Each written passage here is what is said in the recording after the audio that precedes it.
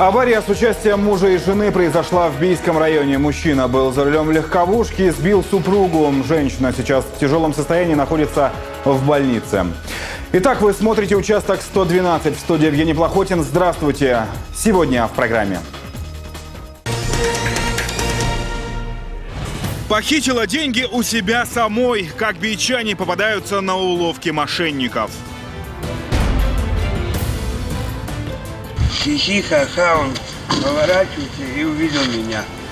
Грабеж в заречной части Бийска. На мужчину набросился неизвестный и забрал мобильник. Число преступлений растет, и из подъездов многоэтажных домов пропадают велосипеды. У вас уже не первый раз? У нас коляску воровали, но потом ее вернули. Ничего жизнь не учит. Не учит нас. Посылка не ушла. Житель Алтайского края пытался отправить за границу государственные награды ветеранов Великой Отечественной войны.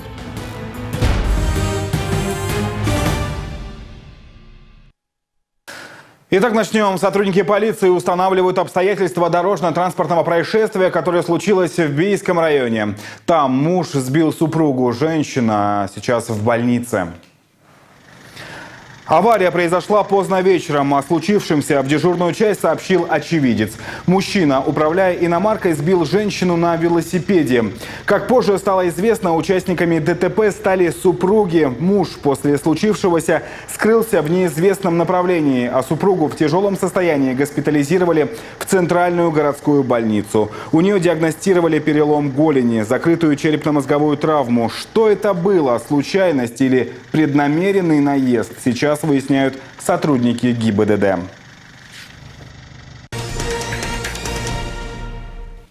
Бичанка приняла участие в спецоперации по похищению денег у самой себя. Накануне женщине поступил звонок. Девушка на том конце провода рассказала, что она является сотрудником службы безопасности банка. И, по словам звонящей, на имя Бичанки неизвестные пытаются оформить кредит.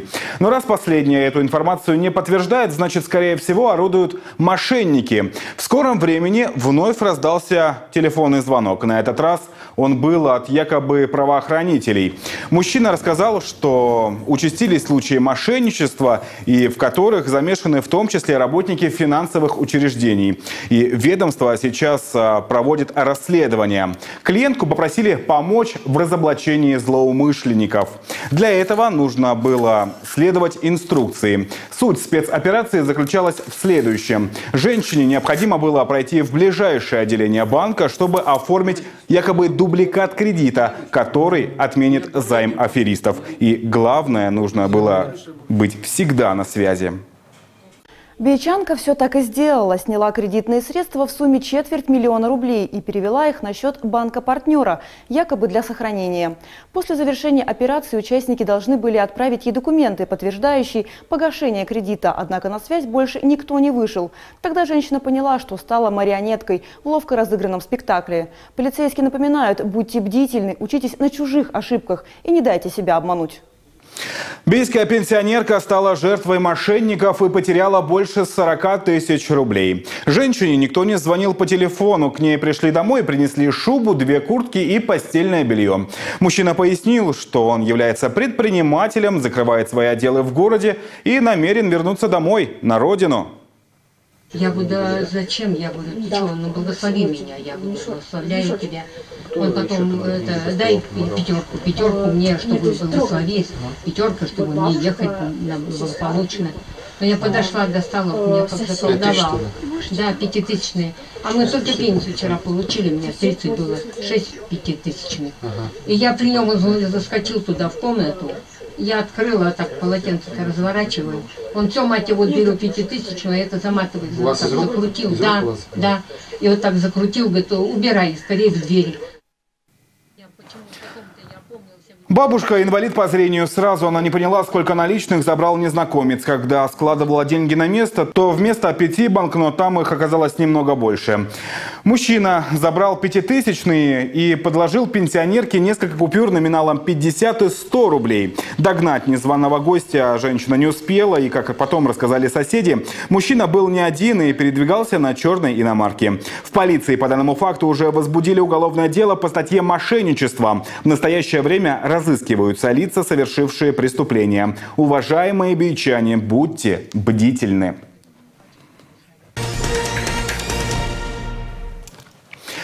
Грабеж в заречной части Бийска на мужчину набросился неизвестный и забрал мобильный телефон. Все случилось на автобусной остановке.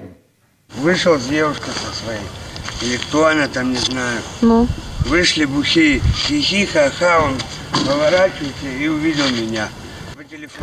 После удара телефон вылетел из рук и упал на землю. В это время неизвестный начал оскорблять потерпевшего. После взял телефон и вместе со своей спутницей ушел, сказав, что вернет мобильник, когда потерпевший вместе с братом придет к нему домой. Только вот куда именно приходить, не уточнил.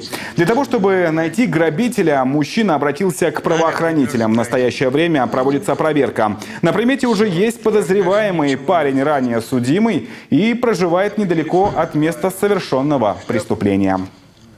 А почему поздно обратились? Ну, выпивший был. Понятно. День рождения вчера отмечал. Ну, с днем рождения, прошедшим. Спасибо. Еще один житель Бийска стал жертвой грабителя. У молодого человека забрали наличные и несколько бутылок алкоголя. В полиции уже возбудили уголовное дело. Сейчас ведется расследование. То есть вы вышли из магазина и вот с этими двумя парнями, с которыми перешли на эту сторону дороги. Тут ссора-то началась.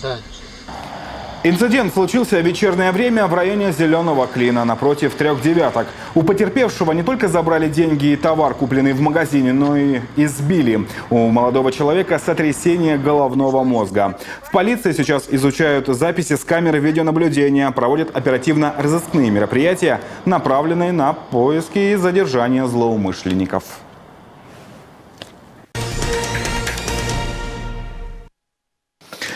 Вы смотрите участок 112. Мы продолжаем. Вот о чем мы расскажем дальше.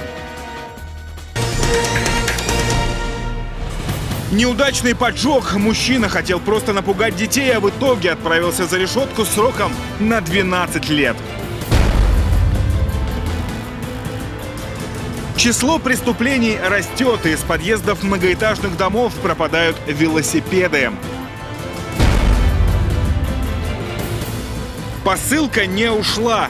Житель Алтайского края пытался отправить за границу государственные награды ветеранов Великой Отечественной войны.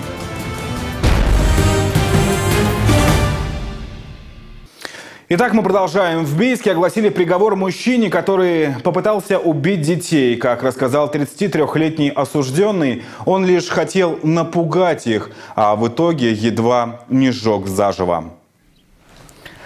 Жуткая история произошла в октябре прошлого года. В ходе следствия удалось выяснить, что обвиняемый, находясь в состоянии алкогольного опьянения, встретил свою бывшую сожительницу, которая пошла за лекарствами для заболевших детей. Женщина рассказала, что трехлетний сын и 11-летняя дочь находятся одни. Мужчина пришел к дому, хотел попасть внутрь, но дверь ему никто не открыл. Тогда он облил входную дверь горючей жидкостью и поджег. Сам спрятался в соседнем доме, чтобы понаблюдать за происходящим со стороны. Но, к счастью, детей удалось спасти. И вот накануне в суде огласили приговор. Мужчине назначили наказание в виде 12 лет лишения свободы с отбыванием в исправительной колонии строгого режима. Обвиняемый свою вину признал частично. Он пояснил, что ему не было известно, что в доме находятся малолетние дети. А также, что он хотел поджечь дверь, чтобы ему открыли дверь входную. То есть его показания противоречат друг другу, можно так сказать. Житель Алтайского края пытался отправить за границу государственные награды ветеранов Великой Отечественной войны. Однако посылка до адресата не дошла. Мужчина был задержан оперативниками Управления Федеральной службы безопасности России по Алтайскому краю. Задержанный, как уже установлено, пытался отправить 33 награды, что противоречит действующему законодательству. За товар от иностранца он получил деньги в размере 100 тысяч рублей. Согласно заключению экспертов, изъятые ордена и медали относятся к культурным ценностям и имеют историческое значение. Кроме того, в ходе оперативных мероприятий сотрудники УФСБ России по Алтайскому краю нашли поддельника, который является коллекционером. У него было обнаружено свыше трех тысяч наград с документами. Предварительно установлено, что коллекции также планировали продать. Так, к примеру, обнаруженный комплект наград уроженца Алтайского края, участника Великой Отечественной войны Петра Михайловича Хомутова, в числе которых Орден Суворова, Орден Кутузова, Орден Отечественной войны первой и второй степеней, для потенциальных покупателей оценивался в сумму свыше 1 миллиона рублей. В отношении обвиняемого избрана мера пресечения в виде подписки о невыезде. Расследование уголовного дела продолжается, устанавливаются иные факты незаконной деятельности и причастность других лиц. Сотрудники полиции регистрируют рост числа преступлений, связанных с кражей велосипедов. Основная причина в том, что сами люди не всегда заботятся о сохранности своего же имущества. Так, накануне из подъезда одного из домов в заречной части Бийска украли и велосипед, и самокат. У вас уже не первый раз? У нас коляску воровали, но потом ее вернули. Ничего жизнь не учит? Не учит нас. Да, несмотря на то, что в подъезде уже были подобные случаи, люди продолжают оставлять двухколесный транспорт на лестничной площадке, порой даже не пристегивая. Итак, для того, чтобы ваш велосипед не тронули злоумышленники, необходимы надежные замки, а не замочки, купленные за 20 рублей. Такие ваше имущество, конечно же, не уберегут. В Бийском районе неизвестные залезли в дом, принадлежащий Сбербанку. Недвижимость была конфискована еще два года назад за неуплату ипотечного кредита. Тут лежало все. Что они там, что там они выковыривали, я вообще Там не какой-то клад лежал? Может. Не знаю. В этом доме никто не проживает регулярно. Проверить состояние имущества приезжает представитель банка. В ходе очередного такого визита дверь была сорвана с петель.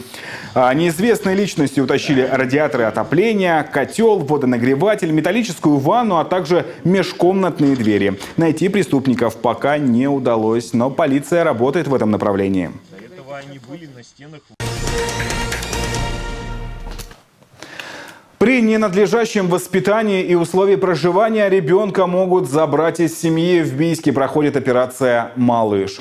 В ходе проводимых рейдов инспекторы проверяют условия проживания, насколько в доме чисто и прибрано, есть ли в холодильнике продукты питания. Также полицейские обращают внимание на внешний вид детей и взрослых.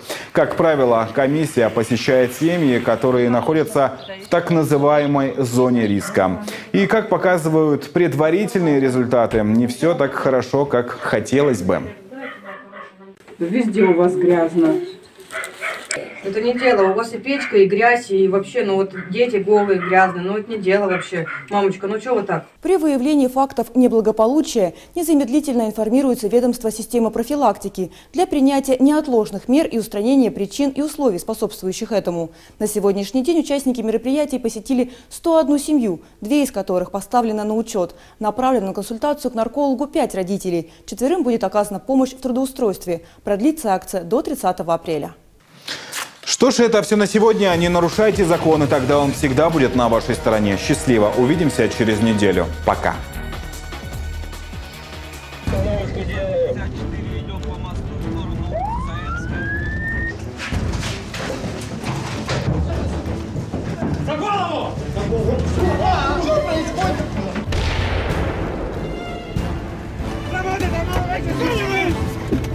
Машина, машина!